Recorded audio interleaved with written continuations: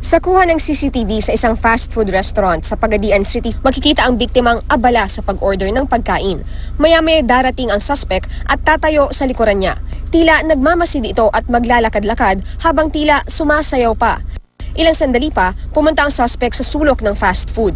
Hindi kita sa CCTV pero pagdating doon ay kinuha umano ng suspect ang iniwang shoulder bag ng biktima. Palabas na sana ang suspect bitbit ang shoulder bag nang makasalubong niya ang biktima at masita siya nito. Ibinalik naman ng suspect ang bag. Huli na nang mapansin ng biktima na wala na sa kanyang bag ang cellphone na hinihinalang tinangay ng suspect. Sa harap naman ng computer shop na ito sa Kidapawan City sa Cotabato, makikita ang isang lalaking nakaupo sa motorsiklo. Maya-maya kakausapin niya ang isang tricycle driver na lumabas sa computer shop. Sinabihan umano ng lalaki ang tricycle driver na naiwan lang niya ang kanyang susi at hiniram niya ang susi nito. Pinahiram naman siya ng susi ng tricycle driver sa pag-aakalang pag-aari nito ang motor.